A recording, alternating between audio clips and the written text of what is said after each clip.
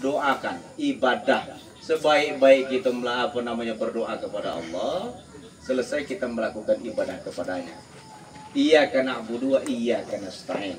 Kepadamu kami menyembah dan ke kepadamu kami memohon pertolongan. Nyembah kudai mengku minta. Itu lo urutannya tertibul kalimat nyembah kudai mengku minta. Sembahyang kudai mengku minta. Ini berdoa tuh pak Ngapa damping kudai? Kalau sembahyang itu kan dampingkan diri kepada Allah, mendekatkan diri kepada Allah. Dekat dulu, sholat dulu. Ibarat kita saja, Pak. Amu kita nak minta sesuatu ngejemu dampingi kudai jemumpul. Amulah damping cengki dapat. Oh. Aku lah kenal dengan beliau ni lah kenal kan, ladung kali bertemu minimal kan.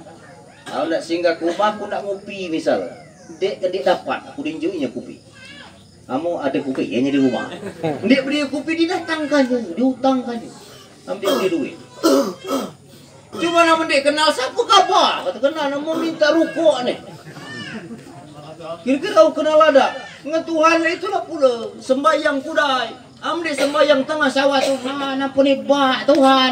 Ya siapa khabar kata Tuhan? Kira-kira macam itu. Nah, Bapak Ibu Saudara hadirin yang saya hormati, doakan. Kemudian yang kedua, Tugas anak cucu dan keturunan daripada almarhum ini cepat-cepatkan saja karena panjang ini bahasanya. Kedua bayar hutangnya. Kenapa penting bayar hutang? Rasulullah SAW. Dan mereka berkata, wahai Rasulullah, tolong imami kami untuk mayit ini ya Rasulullah, karena engkau yang lebih betul untuk menjadi imam untuk kami. Baiklah kata Nabi. Sebelumnya kami saya mau mau tanya dulu. Apakah harta benda yang dimiliki mayat ini mampu melunasi hutang-hutangnya semasa dia hidup dulu? Para, sahabat menggelengkan kepala saya berkata, tidak ya Rasulullah. Harta yang dia miliki sekarang tidak mampu melunasi hutang-hutangnya semasa dia hidup dulu. Apa kata Nabi? Kalau begitu solatkan saja dengan kalian. Ini penting bayar hutang. Nabi ngupnya bayang aja meninggal hutang. Makanya kita nih kalau galak ngutang bayar. Kalau dia galak bayar, jangan ngutang. Itu lu. Ini ngutang galak bayar denda ini. Amun ndak ngutang, woi bukan main manis benar. Mulut manis, mimik muka manis. Ay, dipuji-puji je mana macet lah belagak ni on macet ni. Oh, lalangseng macet ni oh masih pak drum kan. Kira macam itu. Ada ilah mulus mana orge. Kira macam itu kan? Ada akhirnya ada pinjaman duit macet. Nak minjam tu lah, bayar dia galak. Ini penting. Nah, tugas anak-anak bagaimana cara melunasi hutang orang tua. Ini cukup aja di mikrofon ini. Ini kan kita kita umumkan Pak. Setiap kita setiap malam barangkali di mikrofon ini kita umumkan kalau ada hutang piutang dengan adik sanak sekalian kalau bisa diikhlaskan kami ucapkan terima kasih kalau tidak bisa diikhlaskan temui kami. Jadi ini cukup radius mikrofon ini paling jauh 400 500 meter lah. Kiri kanan depan belakang atas. Tuh. Selain itu dia terjangkau. Itu jangkau kita mikrofon. Lu mana caranya?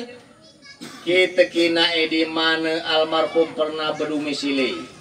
Tadi di Bengkulu Utara di pagar alam kiri-kiri ada pada bertanya kalau beliau ini meninggalkan hutang ini penting pak. Tugas anak-anak cucu dan keturunan dari almarhum kalau-kalau dia ini meninggal ke hutang. Sebab menanggungi ke dia. Tugas kita sebagai anak. Itulah dibesarkan. Tugas kita. Di mana dia pernah berdomisili, siapa menjadi teman dekatnya, siapa yang menjadi teman bisnisnya, di mana dia sering nongkrong. Di situ ditanya betul, kalau-kalau beliau ini meninggalkan hutang. Itu usaha anak-anak harus dilakukan. Harus dilakukan oleh anak-anak.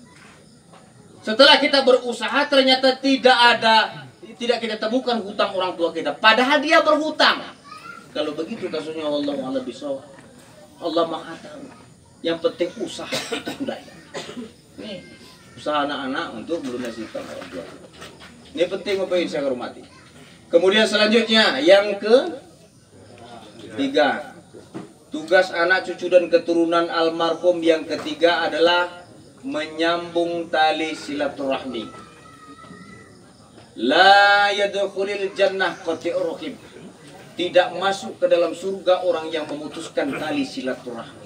Tugas anak, cucu dan keturunan almarhum sambung tali silaturahmi jangan mentang-mentang almarhum meninggal anak cucu putus pula hubungan dengan keluarga-keluarganya yang lain almarhum ada adik, ada kakang, ada ayu, ada sepupu dan lain sebagainya. Sambung tugas anak-anak sambung. Sebaik-baik cara menyambung tali silaturahmi adalah bikinlah seolah-olah almarhum ini belum almarhum ini belum meninggal dunia. Lu mana caranya? Ada kerja baik, kerja buruk di pihak keluarga almarhum datanglah kali ke situ.